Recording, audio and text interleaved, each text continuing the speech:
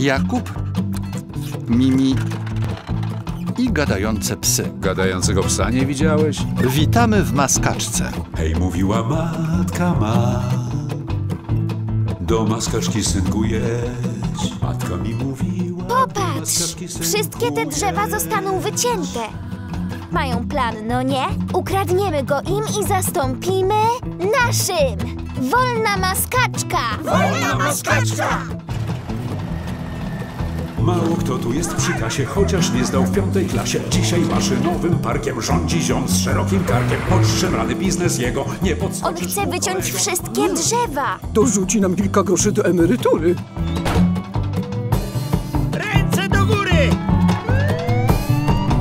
Stój! Co to za hałasy?